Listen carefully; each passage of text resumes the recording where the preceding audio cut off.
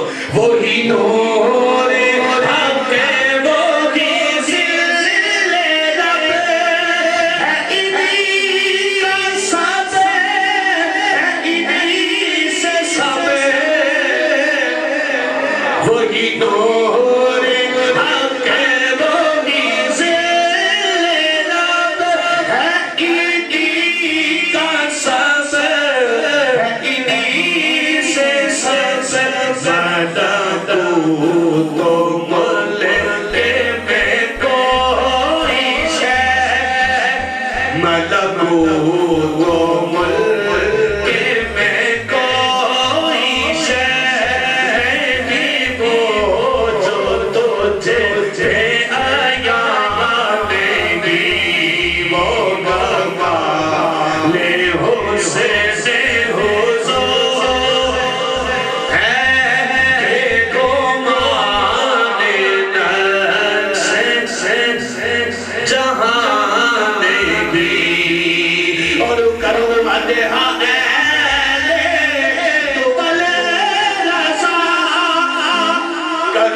ハハ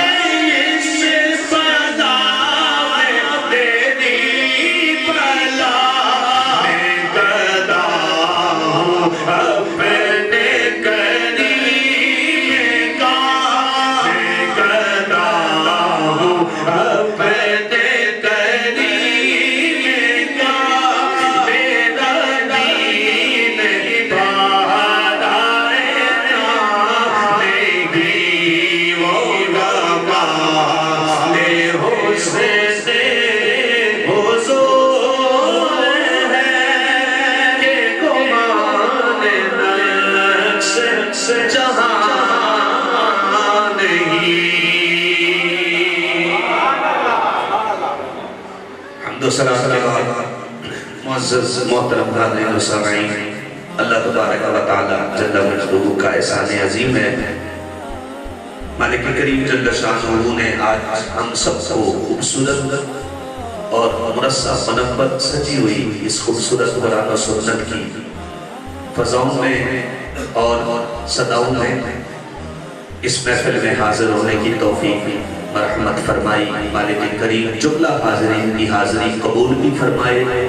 और ठेकेदार मोहम्मद यासीन मरहूम की अहलिया मोहतरमा, मरहुमा मखफूरा राजा महबूब हुसैन, राजा मंजूर हुसैन की हमशेरा और राजा जुबैर मोहम्मद ताहिर मोहम्मद तनवीर और राजा मोहम्मद सफ़ीर, अफजाल अहमद साहब की वालदा मोहतरमा। अल्लाह ताला उनके हक में भी इसे कबूल फरमा कर उन्हें अपनी बारगाह जनाब से, अपनी बारगाह करम से बख्शिशों, मगफरतों का परवाना अता फरमाए।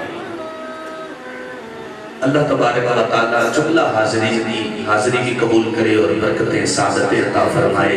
मेरे भाई, मोहतरम, हज़रत अल्लामा, प्रोफेसर, तारिक सिद्दीकी साहब, जिनकी मोहब्बतों और भाई राजा मुश्ताक साहब, जिनकी मोहब्बतों के नतीजे में मुझ नाजीज को यहाँ पे हाजिर होने का मौका मिला। मैं चंद दकीकों में अपनी बात को मुकम्मल करने की, साई जमीला करने की साथ हासिल करूँगा।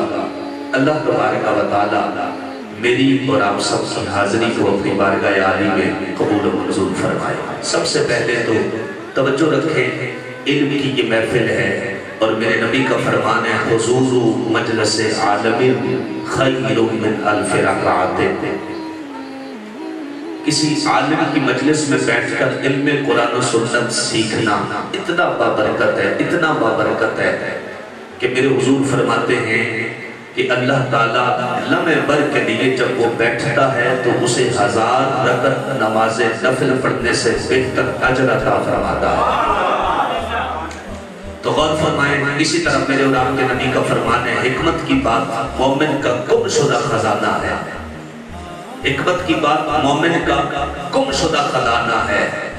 अब खजाना जब गुम हो जाए तो बंदा उसकी तलाश में कितना तड़पता है, कोशिश करता है। अल्लाह के नबी ने फरमाया, हिकमत की बात भी मोमिन के लिए। गुमशुदा खजाना है, जहाँ से उसे मिलता है, वो वहाँ से उसे उठा लेता है। भाई खान साहब की तशरीफ़ फरमा है। अल्लाह ताला उन्हें भी इल्म अमल की सादतें की सादतें अता फरमाए। तो मौजूद सभी ने गिराम अल्लाह तबारक व तआला जल्ल शानहू के कुरान की बातें और मुस्तफ़ा के दीन की बातें। आज मेरी और आपकी वक्त की बहुत ज़रूरत है। हम तरबियत में बहुत कमज़ोर हैं। अल्लाह ताला हम सबको अपनी बारगाह का और अपने महबूब की बारगाह का कुर्ब अता फरमाए। तवज्जो रखिए। मैं अक्सर की बात कहा करता हूँ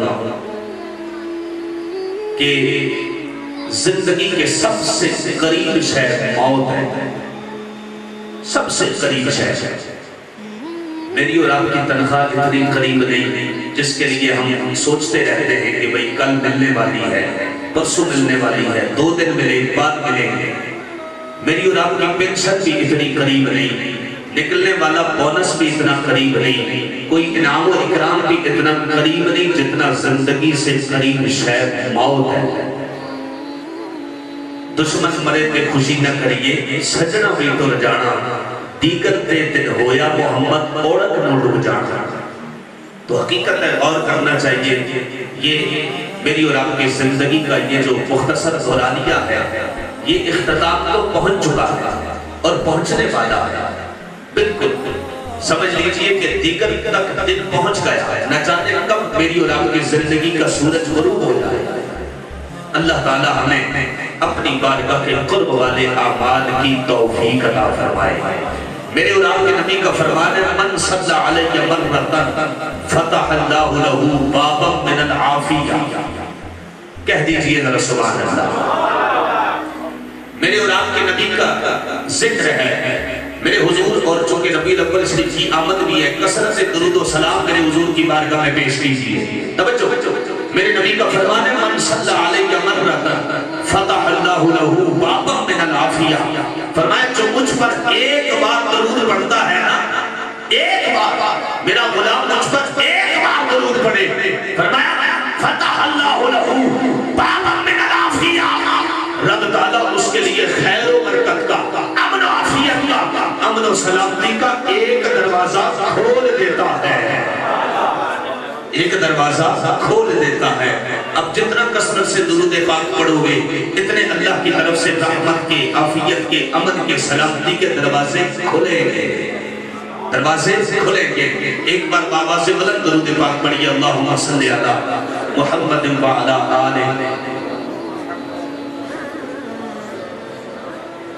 अल्लाह रब्बुल इज़्ज़त जल्ल जलालहू ने कुरान में इरशाद फरमाया वक़दा रब्बुका अल्ला ताबुदू इल्ला इय्याह आपके रब ने फैसला कर लिया है कि इबादत न की जाए, मगर उसी की वही मेरे और मेरे सजदों के लायक है। और याद रखना, इबादत भी ताजीम है और वालिदैन की इज़्ज़त और हुर्मत भी ताजीम है। एक बात याद रखना ये दोनों के बीच में तफरीक इसलिए की गई कि जब ताजीम की इंतहा होती है तो बंदा सजदा करता है और सजदा सिर्फ़ मेरे खुदा को है। कहिए ना बड़ा सवाल है परे इदराक से हमारा मसजूद किबला को अहले नज़र किबला नमा कहते हैं। है परे इदराक से हमारा मसजूद जिसको हम सजदा करते हैं ना उसका इधराक मुमकिन नहीं रही। लेकिन फरमाया है, किबला को अहले नज़र, किबला कहाँ कहते हैं। जब बंदा तासीफ की इंतहा को पहुँचता है। अल्लामा बेजानी कहते हैं अक्सा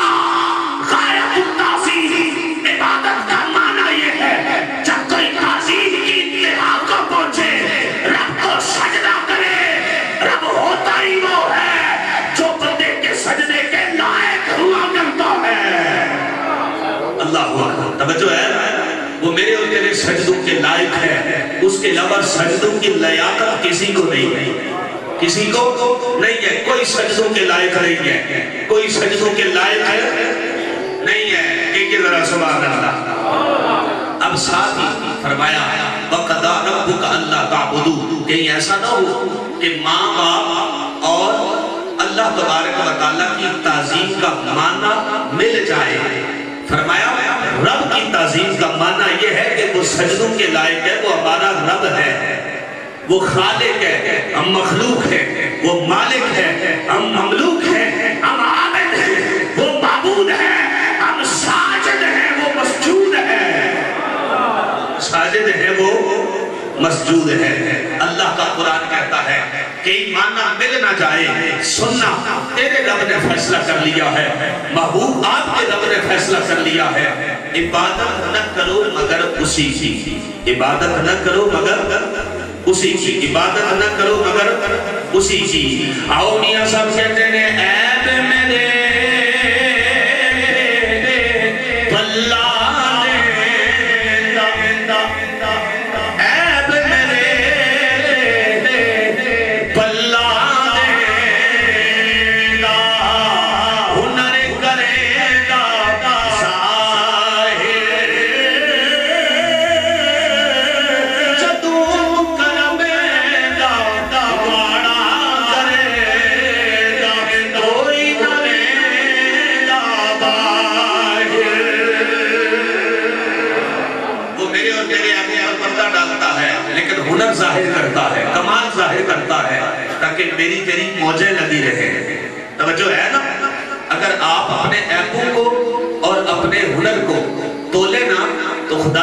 जो रब ने मेरी तेरी इज़्ज़त बाकी रखी हुई है ना, उसके मुकाबले में मेरे तेरे ऐप बहुत ज़्यादा है।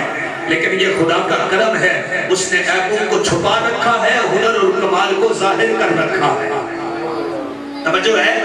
आइए, आगे अल्लाह का कुरान कहता है, वक़दा रब्बुका अल्ला ताबुदु इल्ला इय्या फिर मुत्तसिल फरमाया, हाँ, इबादत करो सिर्फ़ रब की व बिल वालिदैन इहसाना वालिदैन के साथ भी हुस्न सलूक करो। उनकी ताजीम भी है, लेकिन उनकी ताजीम और रब की ताजीम में फ़र्क ये है, वो इबादत के लायक और माबूद है। तुम आबिद हो। माँ बाप की इज़्ज़त इकराम करो, एहसान करो उनके साथ। इसके सच्चे रब तुम्हें दोनों जहाँ में बरकतें अता फरमाएगा। आइए, आगे चलते हैं। अल्लाह का कुरान क्या कहता है? जरा एक बार बाबा से बदल के ये अल्लाह। आओ जरा तवज्जो करना मेरे दोस्तों, रब्बे कायनात अल्लाह मंजूल करीम का कुरान में ऐलान फरमाया बिल वालिदैन ihsana वालिदैन से उसने सलूक करो। आओ जरा तवज्जो करना मेरे दोस्तों।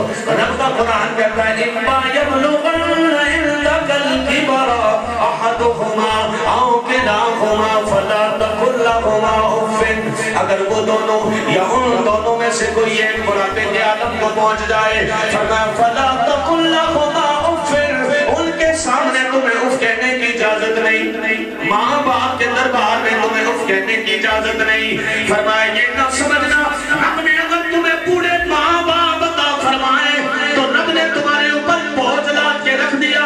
फरमाया, ना ना, ये गुमान ना करना, बल्कि समझ लेना, रब ने तेरी जन्नत का रास्ता साफ़ कर लिया है।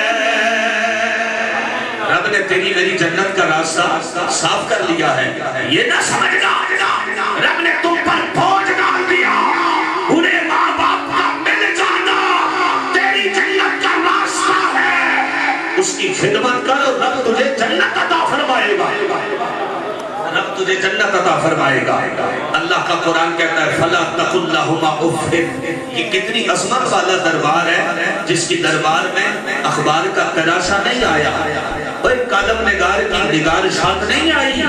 टीवी पे खबर नहीं आई। ये वो अजमत वाला दरबार है, जिसकी इज़्ज़त और तकरीम के लिए रब का कुरान उतरा है। माँ बाप के दरबार के लिए क्या उतरा अल्लाह का कुरान उतरा है। अल्लाह का कुरान उतरा है। तवज्जो करना। रब्बे कायनात जल्ला मजदूल करीम ने कुरान मजीद फुरकान हमीद में ऐलान फरमाया, फला तकुल्लाहुमा उफ्फिन माँ बाप के सामने उफ की इजाज़त नहीं है। आओ जरा तवज्जो करना बड़ी तहकीक की बात अर्ज़ करने लगा हूँ। मुरीद अपने पीर के सामने उफ दे, गुनाह कबीरा नहीं। मुरीद अपने पीर के सामने उफ कहते गुनाह कबीरा नहीं, आओ जरा तवज्जो करना पीर वाले। और अल्लाह तबारक व तआला के नेक बंदों की सोबत इख्तियार करने वाले। गौर करना माँ बाप का दरबार भी कितनी अजमत वाला है। मुरीद अपने पीर के सामने उफ कहते गुनाह कबीरा नहीं। अगर महकूम हाकिम के दरबार में उफ कहते गुनाह कबीरा नहीं। गुलाम आका के दरबार में उफ कहते गुनाह कबीरा नहीं। शागिर्द उस्ताद के दरबार में उफ कहते गुनाह कबीरा नहीं। वज़ीर बादशाह के दरबार में उफ कहते, गुनाह कबीरा नहीं। आओ जरा दुनिया के लोगों के, दुनिया के बड़े बड़े लोगों के तलवे चाटने वाले, गौर करें ना, ऑफ़िस में जाकर सर सर के अंदर ज़ुबान टेढ़ी करने वाले, अपने बॉस के सामने सर झुकाए खड़े रहने वाले माँ बाप को घर में आकर चिट्ठियाँ देने वाले, जरा गौर तो करें ना माँ बाप का दरबार कितनी शान वाला है। माँ बाप का दरबार कितनी शान वाला है।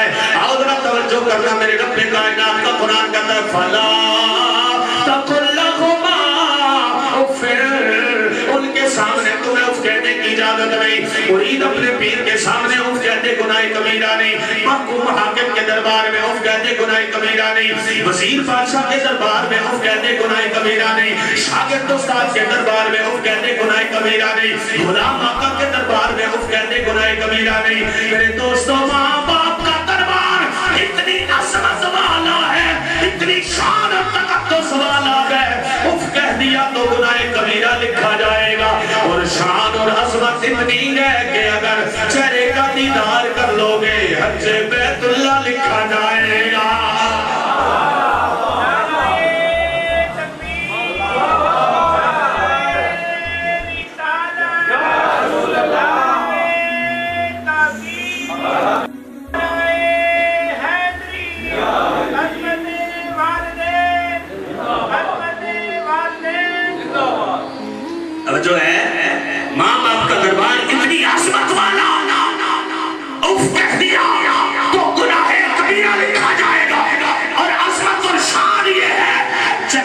दीदार कर लोगे हज्जे बैतुल्ला लिखा जाएगा। और फरमाओ, मुर्शिद दीदार में बाहू, मैनू लख करोड़ा हजा। ये हज़रत सखी सुल्तान बाहू की यकीनत का अपना मयार था। लेकिन जिस चेहरे को तकना, मोहब्बत से देखना, मेरे मुस्तफ़ा ने हज बैतुल्ला करार दिया ना, वो चेहरा तेरे माँ बाप का चेहरा वो चेहरा मेरे तेरे माँ बाप इसलिए माँ बाप की इज़्ज़त और हुर्मत के ऊपर गौर करें कि अल्लाह ने उन्हें कितनी शान और कितनी हुर्मत अता फरमाई है। लोग मक्के जाने के लिए तड़पते हैं। घर में जो हज है, वो हज तो कर लो, उसके सदके रब तुम्हें, वो बड़े वाला हज भी अता फरमाएगा। अल्लाह घर में जो हज है, उसके लिए मेरे कमली वाले आका ने फरमाया, जो बंदा माँ बाप की इज़्ज़त और हुर्मत करे अजर देखे दुनिया दारुल अमल है, दारुल जजा नहीं है, लेकिन कुछ अमाल ऐसे हैं जिनकी जजा रब दुनिया से ही शुरू फरमा देता है। मेरे कमरी वाले आका ने फरमाया, साहबा जानते हो, वो अमल कौन सा है जिसकी जजा रब दुनिया से ही शुरू फरमा देता है? इंसान फरमाया, सुनो, वो माँ बाप से उसने सलूक है जिसकी जजा रब दुनिया से ही शुरू फरमा देता है। ये माँ बाप का दरबार इतनी अजमत और इतनी हुरमत वाला। इतनी आजकल का नौजवान ऑफ़िस में जाकर सर सर कहकर ज़ुबान टेढ़ी कर लेता है। सर सर कहकर ज़ुबान टेढ़ी कर लेता है। और घर में आकर अपने बॉस को खुश करने के लिए, अपने अफसर को राज़ी करने के लिए घर में आकर माँ बाप को झड़कियाँ देता है। सीना तान के खड़ा हो जाता है। गौर करो माँ बाप की इज़्ज़त और हुरमत जिसके लिए रब का कुरान उतर आया है। जिसके लिए रब का कुरान उतर आया है। आओ मेरे और आपके नबी करीम सलाम साहबा इकराम के चुनमट में बैठे हुए मेरे और आपके नबी करीम सलाम ने फरमाया, आओ करना मेरे और आपके नबी करीम के लफ्ज़ मुबारक। मेरे और आपके नबी करीम की ज़ुबान मुबारक में आई। मेरे नबी ने फरमाया, जिसने मोहब्बत से एक बार अपने माँ-बाप को घर की चार दीवारी में देख लिया का सवाब अता फरमाएगा।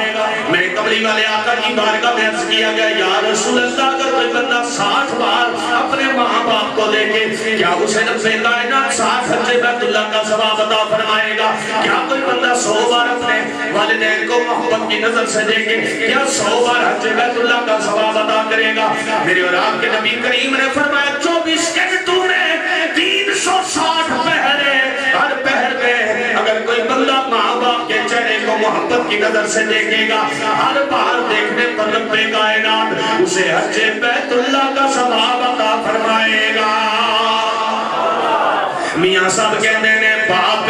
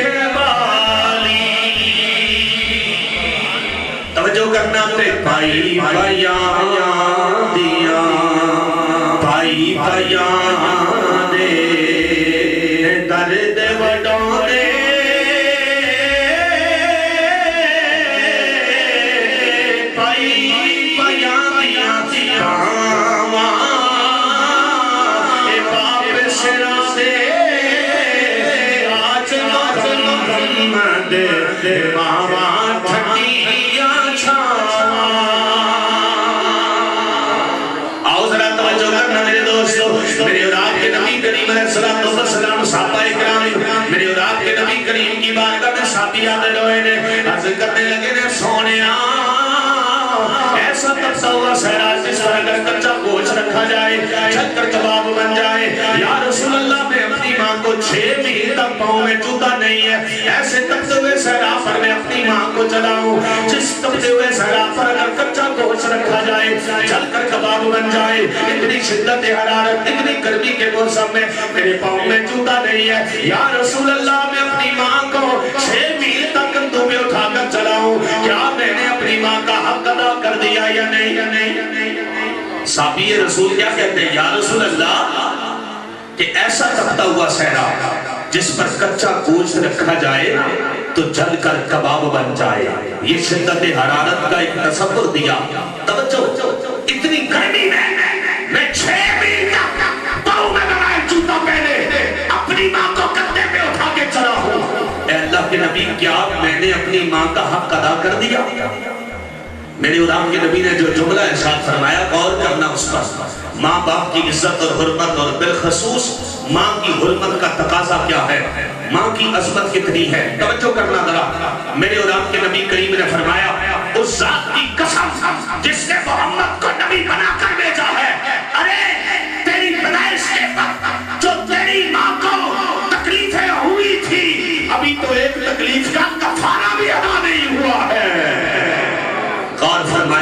दोस्तों, ये है माँ की इज़्ज़त और हुरमत, जिस माँ ने तुम्हें अपने पेट में पाला है।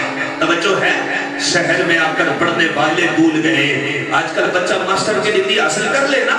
तो घर में बैठे माँ बाप को पेटू और बाबा समझता है, पुराने दौर का समझता है। लेकिन तवज्जो करना शायद ने कहा, शहर में आकर पढ़ने वाले भूल गए। शहर में आकर पढ़ने वाले भूल गए। किसकी माँ ने कितना जेवर बेचा था? किसकी माँ ने कितना जेवर बेचा था? ये माँ बाप की इज़्ज़त और हरमत है। मेरे और आपके नबी करीम की बारगाह में सवाल हुआ, या रसूलुल्लाह, मर्द पर सबसे ज़्यादा हक किसका है? इरशाद फरमाया उसकी माँ का। फिर अर्ज़ किए मर्द पर माँ सबसे ज़्यादा हक किसका है? फरमाया उसकी माँ का। तीन बार। मेरे नबी ने फरमाया, जब चौथी बार पूछा ना, फिर फरमाया, अब एक बाद फरमाया, तेरे बाप का हक है। तेरे बाप का हक है। लेकिन इसका हरगिज मतलब ये नहीं, ये दोनों जन्नतें हैं। एक के कदमों तले जन्नत है तो एक की रजा में रब ने जन्नत को रखा है। तवज्जो है? बाप की रजा में रब की जन्नत है और एक के कदमों के नीचे जन्नत है। याद रखना, जिसे रब्बे कायनात अपनी रजा अदा करे, उसे फिर जन्नत का इनाम भी अता फरमा देता है। इसलिए माँ बाप दोनों की इज़्ज़त और हुरमत को पहचानो। ये वो रिश्ते हैं जिनको रब्बी कायनात ने कुरान में अपनी सिफ्त भी अता फरमाई है। देखिए, कुरान में रब ताला का नाम, रब का नाम ये रब कायनात का सिफाती नाम, रब्बुल आलमीन हम कहते हैं। रब्बुल, ये रब्बुल मेरे रब का सिफाती नाम है। तवज्जो कीजिएगा, क्योंकि पालने वाला वो है। लेकिन ये कितनी अजमत वाला रिश्ता है कि जिसने खलूस से अपने बच्चों को पाला, खूने जिस माँ ने बच्चे को पिलाया, रब को भी मोहब्बत पे नस्काया। रब ने कुरान में दोनों को रब करार दिया है। रब ने दोनों को कुरान में भी रब कहा है। कहा वकुर रब फिर वरहम, हुमा कमा रब यानी सगीरा। कमा रब यानी जैसे उन्होंने मुझे पाला। इस मकाम पर कुरान में वालदेन को रब कहा गया है। कुरान में वालदेन को रब कहा गया है। गौर फरमाइए, रब ने इन हस्तियों को अपना नाम दे दिया है। इन हस्तियों को अपना नाम दे दिया है। ये इतने तवज्जो करना। मेरे इमाम इमाम सुन्नत अच्छा। इमाम अहमद रजा खान, फजल बरेली ने पूरी अहादीस का निचोड़ मेरे और तेरे सामने रखकर झोली में डाल दिया है। और क्या बयान करते हैं? तवज्जो करना। वैसे भी सफ़र मुजफ्फर आपके उर्स का महीना है। अहमद रजा का ताज़ा गुलिस्तान है आज भी। खुर्शीद इल्म उनका दरख्शां है आज भी। सब उनसे जलने वालों के गुल हो गए हैं। जनाब अहमद रजा की शम्मा फिरोजा है आज तवज्जो करना। अब सुनना जरा। मेरे इमाम ने कितनी प्यारी बात की। कुछ लोग हैं जो सुनते हैं अक्सर ना खान रात से भी। माँ की शान में कलाम पढ़ते हैं। माँ की शान और इज़्ज़त और हरमत बयान करते हैं। लेकिन बाप को भूल जाते हैं। अब बाप की इज़्ज़त और हुरमत के हवाले से बिल्कुल तवज्जो नहीं करते, लेकिन आपको मैं पूरी अहादीस का निचोड़ बकौल इमाम शाह अहमद रजा बताने वाला हूँ। तवज्जो कीजिएगा। आपने लिखा है, आपने फरमाया सारी अहादीस का निचोड़ ये है। सारी हदीस का निचोड़ ये है। सुनना तवज्जो से फरमाया, सारी हदीस का निचोड़ ये है कि माँ की खिदमत ज़्यादा है, बाप की ताजीम ज़्यादा है। माँ की खिदमत ज़्यादा है, बाप की ताजीम ज़्यादा है। इसलिए कि वो सिर्फ़ तेरा ही हाकिम नहीं है, बल्कि तेरी माँ का भी हाकिम है। बाप तेरा ही हाकिम नहीं, तेरी माँ का भी हाकिम है। आओ माँ बाप की कदर करने वालों को रब कितनी अपनी बारगाह में शान अता फरमाता है।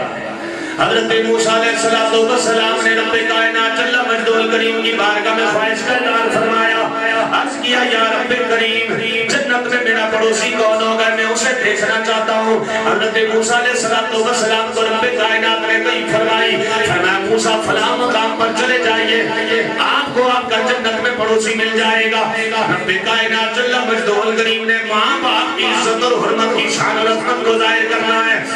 मूसा सलाम फला बाज़ार में चले गए, निशानियाँ बताई गई। हज़रत मूसा पहुँचे कसाब की दुकान पर सारी निशानियाँ पूरी हो गई। आपने फरमाया, तू फलाए हाँ मैं फलाऊं है आप अल्लाह तबारक व तआला के बड़े महबूब बंदे लगते हैं। आपने इरशाद फरमाया है बंदे, आज की रात में तेरे यहाँ रुकना चाहता हूँ, आज की रात में तेरे यहाँ कयाम करना चाहता हूँ। क्योंकि हज़रत मूसा देखना चाहते थे, रब्बे कायनात ने से क्यों जन्नत में मेरा पड़ोस अता फरमाया? है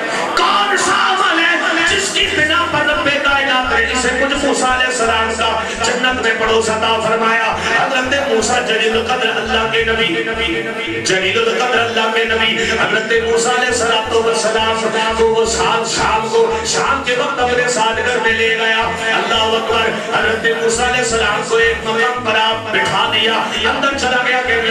मुझे कुछ वक्त दीजिए। पहले मैं अपने माँ बाप की खिदमत करके आ जाऊँ। हज़रत मूसा सलाम, ये मंजर देखते हैं। काबिल तवज्जो और करना ना। हज़रत मूसा ने सलातो सलाम, तवज्जो कीजिएगा। हज़रत मूसा ने सलातो सलाम देखना चाहते हैं, ये अमल कौन सा करता है। क्यों रब्बे कायनात ने इसे हज़रत मूसा का जन्नत में पड़ोस अता फरमाया। गौर कीजिएगा। हज़रत मूसा ने सलाम वहाँ पहुँचे ना तवज्जो आपको बूढ़े माँ बाप की खिदमत के लिए अंदर गया। लेकिन उसके बूढ़े माँ बाप माजूर थे खाना भी खुद ना खा सकते थे। अल्लाह अकबर। वो उनकी खिदमत में मसरूफ हो गया। हज़रत मूसा से खाना पेश करके कहने लगा, आप यहाँ खाना तनावल फरमाइए, लेकिन मादरत के साथ मैं आपके साथ अभी खाना नहीं खा सकता। इसलिए कि मैं अपने माँ बाप की खिदमत करके, ये अमल करके, उसके बाद साथ बैठूँगा और मेजबानी का हक अदा करने के लिए आपके साथ रहूँगा। हज़रत सलाम ने जब देखा तो क्या देखते हैं? बूढ़े माँ बाप को लुत्फा अपने हाथ से डालने वाला हज़रत मूसा का दीदार। जब उसके बूढ़े माँ बाप ने किया, चीख मार के अल्लाह अकबर, अल्लाह तबारक व तआला जल्ल शानहू की बारगाह में उनकी जान परवास कर गई, उनकी रूह परवास कर गई। चीख कर कहने लगा। मुझे लगता है आप हज़रत मूसा से सलाम ही हैं, जिसके बारे में थे ना वो तड़प के कहने लगा, आप हज़रत मूसा हैं? मैं पूछा, कैसे? तुझे कैसे पता चला? कहा तेरे माँ बाप रोज़ाना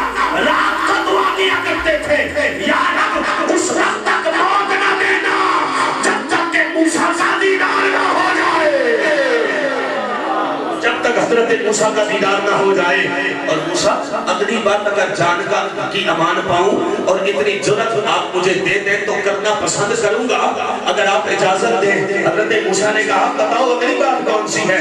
फरमाया, मैं तो ये भी जानता हूँ, जन्नत में मुझे रब की बारगाह से आपका पड़ोस नसीब होगा। पूछा, कैसे? तुझे कैसे पता चला? तुझे कैसे पता चला? तू कैसे यकीन से कहता है? उसने कहा जब की खिदमत से फारिग होता था मेरे माँ बाप हाथ उठाकर दुआ किया करते थे। कि या रब करीम हमारे इस बच्चे को हज़रत मूसा का पड़ोस अता फरमाना और मुझे यकीन है। मैंने इतने खलूस से अपने माँ बाप की खिदमत की है। रब ने इस दुआ को ज़रूर मेरे हक में कबूल फरमाया होगा। हज़रत मूसा ने कहा जा तुझे खुशखबरी हो रब ने भी तुझे मेरे लिए मेरे पास जन्नत में पड़ोस के लिए कबूल फरमा लिया है और मुझे मेरे रब ने बताया है कि तू ही वो है जिसे रब ताला जन्नत में मेरा पड़ोस अता फरमाएगा। जन्नत में मेरा पड़ोस अता फरमाएगा। मेरे दोस्तों, माँ बाप की इज़्ज़त और हुर्मत का तकदस अल्लाह के कुरान में है। मालिक करीम, हम सबको माँ बाप की इज़्ज़त और हुरमत के तकदस की पामाली से बचने की तौफीक दे और माँ बाप के दरबार का, की पहचान अता करे। याद रखना, अल्लाह तबारक व तआला ने इन हस्तियों को मेरी तेरी जन्नत और दौसत करार दिया है। कहा, अगर इनकी कदर पहचानोगे, इनसे हुस्न सलूक करोगे, रब इनके सदके तुम्हें जन्नत अता फरमाएगा। रब इनके सदके तुम्हें जन्नत फरमाएगा, और अगर इन्हें अजियत पहुंचाओगे, रब तबारक व तआला तुम्हें कभी माफ़ नहीं करेगा। याद रखना, मेरे हुजूर ने निशानदेही फरमाई। फरमाया कुर्ब क़यामत, एक ऐसा दौर आएगा कि लोग दोस्त को ज़्यादा तरजीह देंगे और माँ बाप के साथ बैठना भी गवारा नहीं करेंगे। आज हम देख सकते हैं, होटलों पे, चौरंगी पे, चौराहों पे, और बाजारों में अपने दोस्तों के साथ किंतु बसर हो जाते हैं।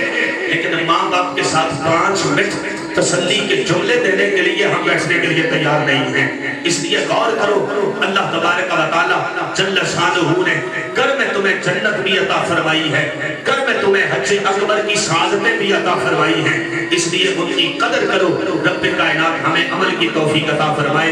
याद रखना, आज जो कुछ करेगा ना, कल उसके साथ बहुत कुछ होने वाला है। अच्छा करेगा तो बहुत कुछ होगा। अच्छा ही होगा। और कुछ बुरा करेगा तो बहुत कुछ बुरा होने वाला है।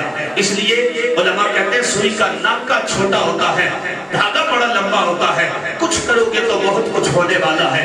अल्लाह तबारक माँ बाप के दरबार के तकद्दुस की पहचान अता करे और हमें माँ बाप की नाफरमानी से बचने की तौफीक अता करे और हालात के तनासुर में अल्लाह तबारक सही मालूम है। हमें अपनी बारगाह के कुर्ब वाले अमाल की तौफीक अता करे। शहर में आकर पढ़ने वाले भूल गए। शहर में आकर पढ़ने वाले भूल गए। किसकी माँ ने कितना जेवर बेचा था? अल्लाह ताला मेरी और आप सबकी हाजिरी अपनी बारगाह आली में कबूल मंजूर फरमाए। आमीन। बिजाहिर आहा व यासीन व आखिर दावा या अल्हम्दुलिल्लाह।